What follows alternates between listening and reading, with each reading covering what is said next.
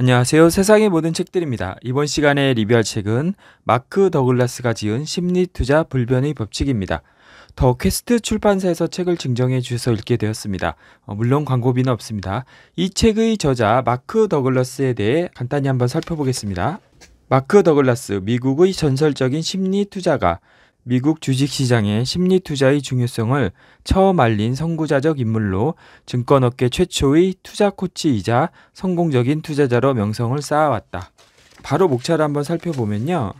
이 책은 총 11장으로 구성이 되어 있는데요. 제1장 펀더멘탈 분석, 기술적 분석, 정신적 분석 2장 투자의 유혹과 위험을 받아들여라 3장 자신의 투자에 책임을 져라 4장 승자의 사고방식을 배워라 5장 기회와 위협을 제대로 인식하라 6장 시장의 시각에서 바라보라 7장 확률적으로 사고하라 8장 믿음을 갖고 투자하라 9장 믿음의 본질은 무엇인가 10장 믿음과 투자의 관계를 이해하라 제11장 최고의 투자자처럼 생각하라. 이렇게 구성이 되어 있고요. 어느 정도 투자의 경험을 가지신 분들이 투자를 할 때 닥치는 심리적인 원인에 근거한 실패를 극복할 수 있는 내용을 주로 다루고 있습니다.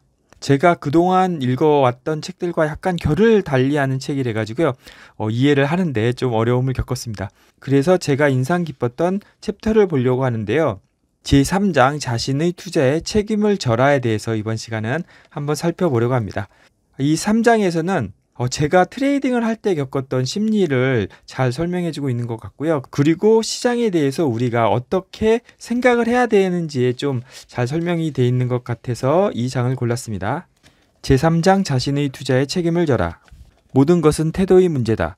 당신이 꾸준히 성공하는 투자자로서 자신을 새롭게 만들고 싶다면 믿음과 태도만 있으면 된다.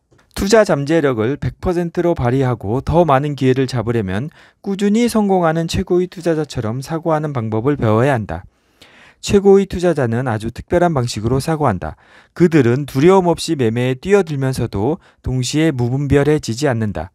특히 두려움으로 인한 실수를 저지르지 않는다. 이러한 정신 구조는 수많은 요소로 이루어져 있지만 여기서 기억해야 할 것은 단 하나다. 성공하는 투자자는 두려움과 무분별함의 영향에서 벗어난 채 투자한다는 사실이다. 그 결과 그들은 꾸준한 성과를 낸다. 이러한 정신 구조를 갖게 되면 두려움이 없이 투자를 할 수 있다. 그러나 두려움의 제거는 절반이 성공에 불과하다. 나머지 절반의 성공을 거두기 위해서는 자제력을 키워야 한다. 최고의 투자자들은 연이어 투자에 성공할 때 생기는 행복감이나 자만 때문에 생기는 부정적인 영향을 막기 위해서 원칙을 세우고 자신을 통제할 줄 알아야 한다는 걸 경험으로 배웠다. 반대로 스스로를 감시하고 통제하는 법을 배우지 못한 투자자에게 승리는 극도로 위험한 것이 된다.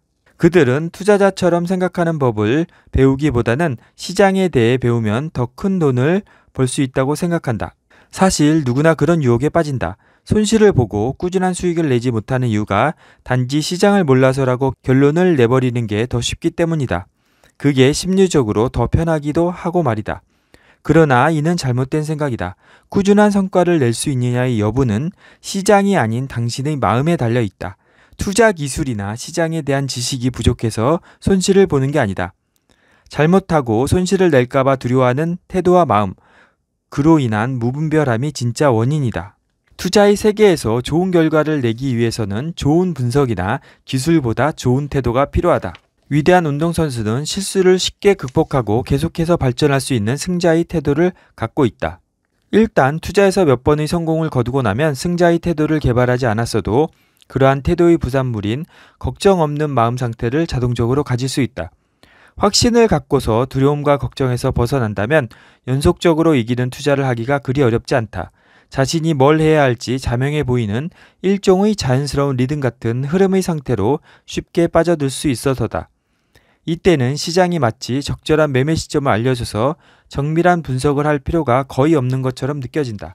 그리고 물론 두려움을 느끼지 않으므로 내적 갈등이나 논란이 없는 상태에서 매매를 할 수 있다. 내 말의 핵심은 무엇을 하건 승리 여부는 주로 태도가 좌우한다는 것이다. 몇 차례 이상 이기는 투자를 경험하게 되면 마치 승자가 된 듯한 기분을 느낄 수 있고 그러한 느낌은 연속적인 승리를 이어가는 원동력이 된다.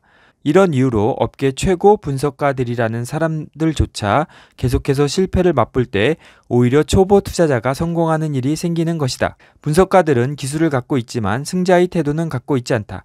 그들은 두려움에 사로잡혀서 거래를 한다. 반면 어떤 초보 투자자는 두려움이 없기 때문에 승자의 태도가 주는 느낌을 경험한다.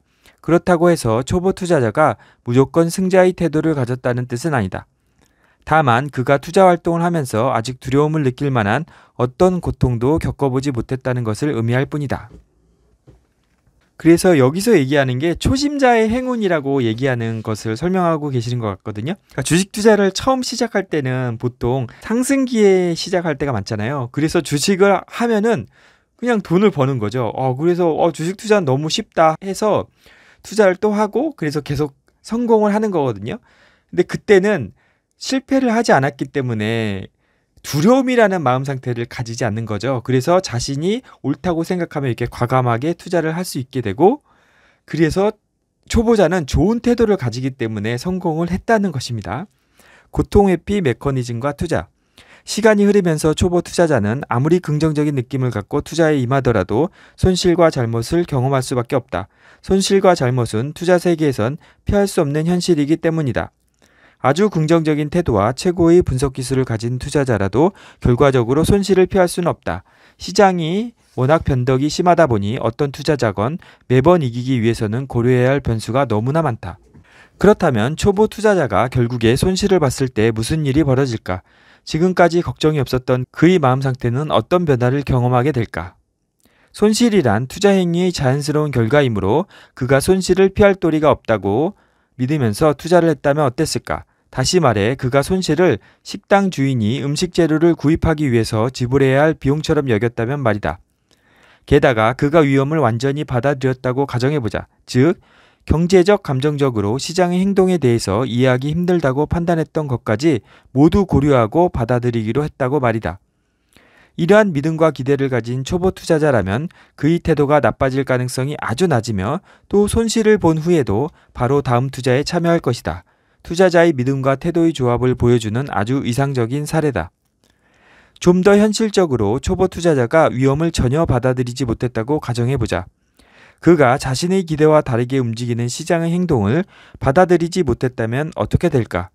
시장이 원하는 대로 움직여주지 않는다면 감정적인 고통을 느끼게 될 것이다. 기대란 어떤 특정 환경 속에서 미래 어느 순간의 모습이나 소리나 느낌이나 냄새나 맛이 어떨지를 머릿속에 그려보는 것이다. 이때 그러한 기대에 얼마나 많은 에너지를 쏟느냐에 따라 기대가 성취되지 않았을 때 느끼는 고통의 정도가 다를 것이다. 초보 투자자는 방금 말한 두 가지 상반된 시각 중에서 어떤 시각을 가질 확률이 높을까? 최고의 투자자는 첫 번째 시나리오에 나온 시각을 가진다. 하지만 초보 투자자들은 손실을 본 다음 대부분 감정적 고통에 빠지고 만다.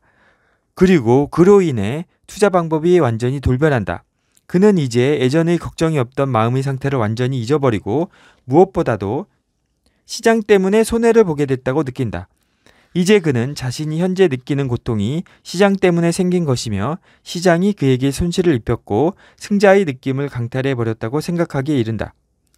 초보 투자자는 이처럼 손실을 본 탓을 시장이나 그가 이해하지 못한 무엇 때문으로 돌린다.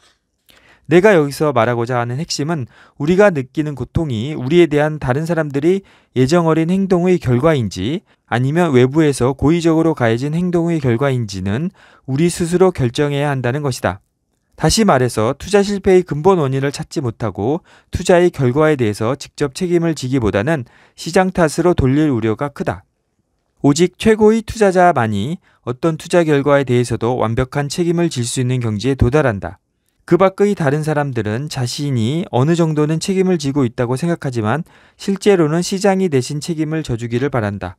일반적인 투자자는 시장이 그의 기대와 희망과 꿈을 대신 성취해 주기를 바란다. 즉, 이제 투자를 실패해서 고통을 받으면은 자신으로 책임을 돌리는 게 아니라 아, 시장의 상황이 나쁘기 때문에 투자에 실패한다고 책임을 전가를 하고 세력 때문에 투자에 실패했다고 생각을 하고 뭐 공매도 때문에 투자에 실패를 했다고 하고 그런 식으로 자신으로부터 원인을 찾는 게 아니라 외부에서 자꾸 원인을 찾으려고 한다는 겁니다. 시장은 우리에게 무언가를 주거나 우리에게 이득이 될 어떤 일도 해줄 책임이 없다.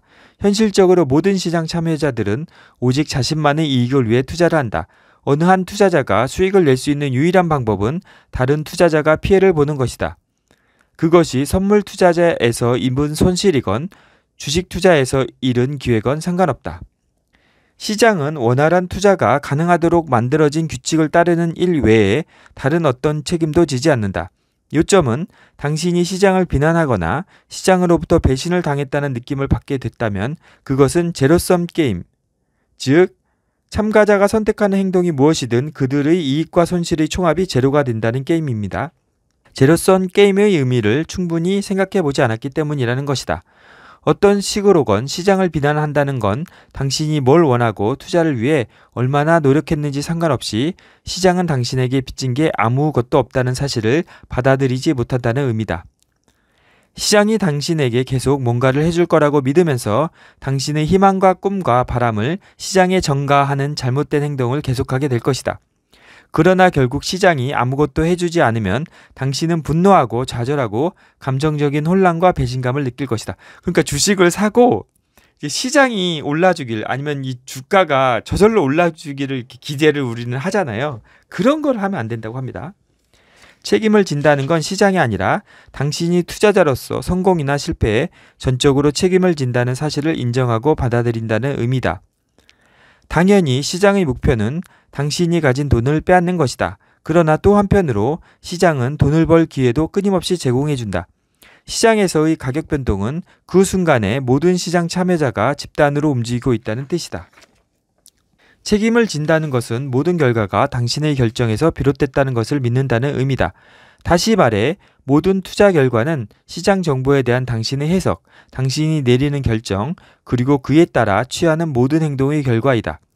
한편 책임을 완전히 지지 않는다는 건 성공을 가로막는 두 가지 중요한 심리적 장애물을 세워놓는 것과 같다. 그렇게 되면 첫째, 당신은 시장과 적대적인 관계에 놓이고 둘째, 투자 실패 문제를 시장을 분석해서 고칠 수 있다고 잘못 믿게 된다. 먼저 첫 번째 장애물부터 생각해 보자. 수익이나 손실에 대한 책임을 어쨌든 시장에 전가한다면 시장을 적대적으로 받아들이게 된다. 시장이 예전처럼 돈을 벌게 해주겠지 기대했는데 다시 돈을 잃게 되면 우리는 뭔가를 빼앗기거나 우리가 원하는 일을 하지 못하게 했을 때 느끼는 분노, 분개, 무기력처럼 어린애들이 자주 느끼는 것과 같은 감정을 느끼게 된다. 그러나 시장은 어디까지나 중립적인 관점에서 정보를 제공한다는 사실을 명심하자. 즉, 시장은 우리가 무엇을 원하고 기대하는지 모른다. 자기 비판과 후회 없이 투자를 하고 시장이 제공하는 무한한 기회의 흐름을 받아들인다면 당신은 최고의 이익을 내기 위해 행동하고 과거의 경험으로부터 교훈을 얻는 최고의 사고틀에 들어가게 된 것이다.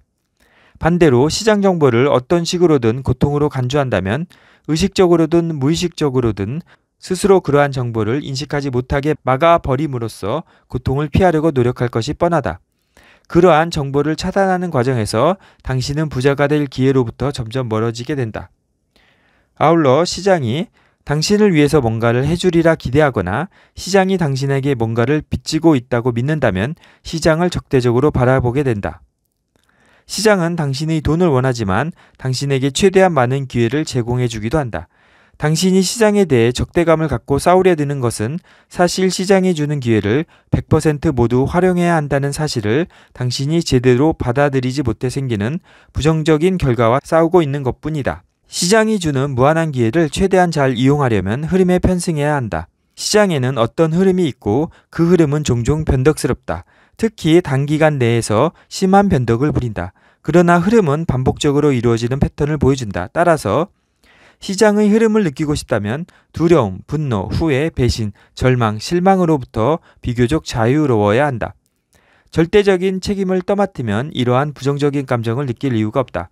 다음으로 두 번째 심리적인 장애물인 시장 분석을 통해서 투자에서 발생하는 문제들을 해결할 수 있으리라는 잘못된 믿음에 대해 살펴보자. 이 말을 부연 설명하려면 첫 번째 손실을 경험할 때까지 걱정이 없었던 마음 상태를 갖고 트레이닝했던 초보 투자자의 이야기로 돌아가야만 한다. 누구나 쉽게 힘들이지 않게 승리를 거두다가 돌연 감정적인 고통을 느끼면 상당한 충격을 받는다. 그렇다고 그 충격이 투자를 그만둘 정도는 아니다. 아울러 이 초보 투자자는 시장이 자신을 실패자로 만들었다고 생각했고 그래서 포기하지 않았다. 마침내 그는 더 똑똑하게 투자할 수 있는 기회를 얻는다. 약간의 노력을 들여 시장에 대해서 배울 수 있는 모든 것을 배우기로 한다. 아무런 지식도 없는 상태에서도 승리를 거둔 경험이 있으므로 만일 뭔가를 알면 더 확실한 승리를 거둘 수 있겠다고 생각하는 건 당연하다.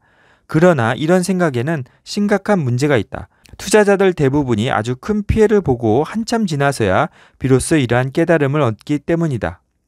물론 시장에 대해 배우면 좋고 그렇게 배운다고 해서 무슨 문제가 생기지는 않는다. 다만 시장에 대해 공부하려고 하는 근원적인 이유가 궁극적으로 잘못된 행동의 원인이라는 게 문제다. 직전에 설명했던 것처럼 기쁨에서 고통으로 갑작스럽게 기분이 바뀌면 누구나 상당한 심리적인 충격을 받는다. 이러한 종류의 경험을 건강하게 소화해낼 방법을 배운 사람은 실로 극소수에 불과하다. 이럴 때 투자의 지식이 좀 있는 사람들은 보통 복수하겠다는 반응을 보인다. 그들은 유일한 복수의 방법은 시장을 정복하는 것이고 시장을 정복하는 유일한 방법은 시장에 대해 지식을 얻는 것이라고 생각한다. 이게 잘못된 원인에 기인해 가지고 시장에 대해 이제 공부를 시작한다는 것입니다. 초보 투자자가 시장에 대해서 학습하는 근본적인 이유도 시장을 이기고 자신의 능력을 입증하고 시장이 다시는 자신을 해치지 못하게 막기 위해서다. 정복자가 되기 위해서 시장에 대해 배우고 있다고 생각하면 그는 그 사실 자체로 고무된다. 그래서 추세선, 차트 패턴, 지지선과 저항선, candlestick, 시장 프로필, 포인트와 선 등에 대해 배우면서 계속해서 지식을 추구하게 될 것이다. 엘리어트 파동, 피보나치 되돌림, 오실레이터 외에도 그가 배울 수 있는 기술은 정말로 많다. 그런데 이상하게도 시장에 대해 점점 더 많은 지식을 쌓는데도 초보 투자자는 계속해서 문제를 겪는다. 그러면서 소극적으로 변하고 자신의 결정에 대해 계속 재고하기에 이른다. 또 명확한 매매 신호들이 출현하더라도 머뭇거린다. 그는 자신이 겪은 일을 이해할 수 없어서 크게 좌절한다. 심지어 미칠 것 같은 기분마저 든다. 그는 투자자로서 해야 할 일을 했다. 다시 말해 열심히 공부했다. 그런데 결과적으로 더 많이 배울수록 자신이 유리하게 이용할 수 있는 게 오히려 더 줄어들었다는 사실을 깨닫는다. 그는 열심히 공부했을 뿐인데 자신이 대체 뭘 잘못했는지 이해하지 못한다. 이 모든 문제는 그가 잘못된 이유로 배우려고 했기 때문에 생긴 것이다. 즉, 시장을 많이 배우면 배울수록 이길 수 있다고 생각을 하거든요. 근데 시장은 불확정적으로 움직이잖아요. 그래서 예측이 불가능한 영역인데 자신은 특정한 기술을 배워서 이기려고 하기 때문에 계속 문제가 발생하는 겁니다. 초보 투자자가 무언가를 증명해 보이려고 애쓰면 애쓸수록 효과적인 투자와는 거리가 멀어진다. 이겨야 하고 옳아야 하고 잘못을 인정할 수 없다고 생각하면 시장이 제공하는 여러 범주의 정보를 고통스러운 것으로 규정하고 인식하게 된다. 이때 우리에게 내재된 신체적, 감정적 고통을 피하려는 경향이 딜레마를 만든다. 시장에 대해 열심히 지식을 쌓았더라도 이런 고통 회피 메커니즘이 투자에 미치는 부정적인 영향을 상쇄하지는 못한다. 우리는 모두 고통을 회피하려는 성향을 지니고 있다. 따라서 이러한 부정적인 결과들을 의식적으로 통제하는 법을 배우고 이해할 때만이 원하는 목표를 성취할 수 있다. 인간은 본래 고통에서 스스로를 보호하기 위해 수많은 방법들을 동원한다. 예를 들어 의식적으로 실패한 투자를 합리화하거나 정당화한다. 또 그런 투자를 계속할 수 있는 명분을 만든다. 고통스러운 경험이 주는 가치를 부정하기 위해서 고통스럽지 않은 정보를 수집하려고 하기 때문이다. 또 잠재의식적 차원에서 특정 정보를 수정하거나 왜곡하거나 배제한다. 다시 말해 의식적 차원에서는 고통 회피 메커니즘이 시장이 주는 정보를 배제하거나 수정하고 있다는 걸 깨닫지 못한다. 즉 무의식적으로 자신의 판단에 옳은 정보만을 찾으면서 보는 겁니다. 증시가 정고점을 깨거나 저점을 높이거나 전저점을 깨는 등 당신이 취한 포지션과 반대로 움직여 계속해서 손해를 보는 상황인데도 곧 만회할 거라고 믿으며 실패를 인정하지 않고 있다고 생각해보자. 평균 4에서 5차례 베팅에서 한 차례 정도만 원하는 결과를 얻고 있을 뿐인데도 한 번 벌 때마다 이제 상황이 바뀌어서 앞으로 시장이 당신이 원하는 대로 움직일 거라고 확신하며 이전의 나쁜 결과를 개의치 않는다. 그러나 시장은 계속해서 당신의 생각과 반대로 움직일지 모른다. 그러다가 어느 순간에 손실 규모가 너무 늘어나 부정하기 어려운 지경에 이르면 그제서야 마침내 투자를 중단하게 될지 모른다. 투자자들은 보통 이럴 때 실패 경험을 반성하면서 내가 왜 손실을 인정하고 반대로 매매하지 않았을까라는 반응을 보인다. 시장에서 한 발짝 떨어져 있을 때는 반대로 투자의 기회를 쉽게 알아차릴 수 있다. 그러나 시장에 깊숙이 발을 담그는 순간 그러한 기회가 눈에 보이지 않는다. 기회를 알려주는 정보를 고통스럽다고 간주하면서 의도적으로 차단해 버리기 때문이다. 앞에서 예를 들었던 가상의 초보 투자자도 처음 투자를 시작했을 때는 투자 자체를 즐겼다. 그는 걱정이 없는 마음 상태에 빠져 있었다. 그는 편견에 사로잡히지도 않았고 그 누구에게도 자신을 증명할 필요가 없었다. 승리를 거두든 한 다음엔 어떻게 될지 볼까라는 관점에서 투자를 했을 뿐이다. 그리고 돈을 버는 횟수가 늘어나면서 자신이 돈을 잃을 수 있다는 생각을 점점 더 하지 않게 됐다. 그러다가 마침내 돈을 잃자 사실상 전혀 예상해 본 적이 없는 마음 상태에 빠진 것이다. 그는 자신이 고통을 느끼는 이유가 시장의 방향에 대한 자신의 잘못된 예상이라고 생각하지 않고 시장 때문이라며 시장을 비난했다. 또 시장에 대해 많이 배우면 배울수록 손실의 재발을 막을 수 있다고 생각했다. 걱정이 없는 마음 상태를 유지했던 그는 갑자기 돌변해 손실을 피함으로써 고통을 피할 수 있다는 생각을 하게 됐다. 하지만 손실을 피함으로써 고통을 막을 수 없다는 게 문제다. 시장은 여러 가지 행동 패턴을 생산하는데 그 패턴들이 반복되기는 하지만 항상 그렇지만은 않다. 따라서 손실을 보거나 잘못되는 걸 피할 방법은 없다. 아마도 이 초보 투자자는 앞으로 이러한 투자 세계의 현실을 간파하지 못할 것이다. 두 가지 강력한 힘에 휘둘리게 됐기 때문이다. 첫째, 그는 승자의 느낌을 다시 느껴보길 갈망했다. 둘째, 자신이 습득하고 있는 시장에 대한 모든 지식에 극단적인 열정을 갖게 된다. 그러나 그가 놓치고 있는 한 가지 사실은 고통을 막거나 피하자는 사고를 하게 되는 순간 이미 긍정적인 태도에서 벗어나 부정적인 태도를 갖게 됐다는 점이다. 그는 더 이상 단지 이기는 데 집중하지 않는다. 대신 시장이 다시는 자신에게 상처를 주지 못하도록 고통을 피하는 방법에만 집중한다. 이것은 경기 흐름을 읽지 못하고 실수하지 않으려는 데만 집중하는 테니스 선수의 모습과 비슷하다. 초보 투자자는 잘못을 저지르지 않으려고 애쓰면 애쓸수록 오히려 더 많은 잘못을 저지른다. 고통을 피하려고 하면 할수록 고통 때문에 더 많이 괴로워한다. 다시 말해, 더 많이 이기고 더 적게 지려고 할수록 투자자는 자신이 원하는 것을 얻지 못하고 있다는 걸 알려주는 어떤 정보도 받아들이지 못한다. 그렇게 차단하는 정보가 늘어날수록 최고의 수익을 올릴 기회를 인식하지 못하게 된다. 초보 투자자가 고통을 피하려고 시장에 대해 공부하는 것이 늘어날수록 문제는 더욱 복잡해진다. 많이 배울수록 시장에 대한 기대도 덩달아 늘어나기 때문이다. 또 그로 인해서 시장이 자기 뜻대로 움직여주지 않을 때 많은 고통을 느낀다. 그는 자기도 모르게 더 많이 배울수록 더 마음이 피폐해지는 악순환을 초래해버린다. 그런데 또 그렇게 마음이 더 피폐해질수록 더 많이 배워야겠다고 느낀다. 그리고 이런 악순환은 그가 넌더리가 나서 투자 자체를 포기하거나 아니면 투자 실패의 근본 원인이 시장에 대한 지식 부족이 아니라 자신의 시각 때문이라는 걸 인정할 때까지 계속해서 이어진다.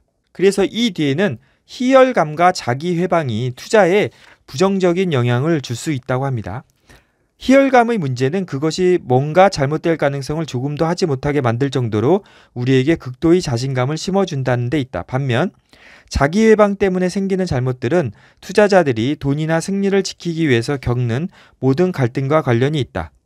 사람은 이기고 있을 때 가장 실수에 취약해진다. 과도하게 투자에 뛰어들거나 심하게 편중된 포지션을 취하거나 기존에 세워뒀던 규칙을 깨거나 신중하게 행동할 필요가 없다고 여기기도 한다. 마치 자신이 시장이 된 것처럼 생각하는 지경에 이르기도 한다. 그러나 그로 인해 피해를 입는 쪽은 바로 우리 자신이다. 그럴 때 입는 손실과 감정적 고통은 실로 어마어마하다. 당신은 호황을 경험한 다음에 반드시 불황을 경험하게 될 것이다. 즉, 반복적인 성공을 이루게 되면은 희열감을 느껴서 투자 금액을 늘리거나 아니면 위험한 투자를 하게 되는데요. 그러한 경우에 큰 손실을 입을 수 있다는 것입니다. 그리고 자기 회방이라는 것은 무의식적으로 자신이 손실을 얻을 수 있는 그런 행동을 한다는 것이거든요. 그러니까 매수 시점에 매도하거나 반대로 매도 시점에 매수하는 등의 실수를 하거나 가장 위험한 타이밍에 집중을 잃어 실패를 맛보곤 한다고 합니다. 이게 자기 회방 때문에 일어난다고 합니다. 그래서 승리하고 나서 확신과 절제 사이에서 건강한 균형을 잡는 법을 배우지 못했거나 자기 회방을 극복하는 법을 배우지 못했다면 조만간 아무리 전에 성공했다고 해도 패배할 수밖에 없다고 합니다. 그리고 당신은 시장이 하는 일과 하지 않는 일에 대해서 책임을 지지는 않지만 자신의 투자 결과로 생기는 다른 모든 것들에 대해서는 책임을 져야 한다. 지금까지 배운 것뿐만 아니라 곧 배우게 될 모든 것에 대해서도 말이다. 성공적인 투자자가 되기 위한 가장 효과적인 길은 승자의 태도를 개발하는 것이다. 그것은 곧 창조적인 시각을 갖게 됨을 말한다. 승자의 태도는 당신에게 무엇을 배워야 하는지 알려주며 아무도 경험하지 못했던 중요한 뭔가를 찾아내는데 가장 좋은 사고방식을 제공해준다. 두려움을 버리고 자신감을 갖고 싶고 들쑥날쑥한 성과보다는 꾸준히 높은 성과를 내고 싶다면 무엇보다 자신의 투자에 책임을 지고 시장이 당신을 위해서 뭔가를 해줄 거라는 기대를 버려야 한다. 이 순간부터 전적으로 그렇게 하기로 결심했다면 시장은 더 이상 당신의 적이 아니다. 시장과의 싸움을 중단한다면 앞으로 뭘 배워야 하는지 그리고 그것을 얼마나 빨리 배울 수 있는지를 경험하고 놀랄 것이다. 책임을 진다는 건 승자의 태도를 쌓는 초석이다. 그래서 자신의 투자에 책임을 지는 것도 승자의 태도 중 하나고요. 이 뒤에는 여러 가지 승자의 태도가 나오는데요. 위험을 받아들여라. 시장을 있는 그대로 받아들여라. 과거의 실패와 고통에서 벗어나라. 시장은 원래 불확실하고 변덕스럽다는 것을 인식하라. 그리고 확률적으로 사고하라. 반드시 자신을 승리한다는 점을 버려라. 시장은 예측할 수 없지만 성공한다는 믿음을 가지고 투자하라. 그래서 이 뒤에 보면은 믿음과 투자에 대한 그 관계에 대해서 설명을 하고 계시거든요. 그래서 거기는 되게 뭐 심리적인 것과 뭐 철학적인 것이 막 얽혀 있기 때문에 좀 이해하기가 힘들었는데 하여튼간 성공할 수 있다는 확실한 믿음을 가지고 걱정을 하지 않고 투자를 하는 자세가 투자 성공에 큰 영향을 준다는 얘기를 하시고요. 그 다음에 반복적으로 나오는 것은 시장은 예측할 수 없는 거기 때문에 성공할 수도 있고 실패할 수 있다는 것을 받아들이는 게 되게 중요하다고 하더라고요. 그래서 손실을 받아들이는 게 되게 중요하고 손실을 얻었을 때 고통스러워하지 말라고 합니다. 그게 체득이 되면은 성공으로 자연스럽게 이어질 수 있다고 그런 식으로 얘기를 하시거든요. 그래서 이 책은 전반적으로 어떻게 심리를 조절해야 성공할 수 있는지에 대해서 설명을 하고 있습니다.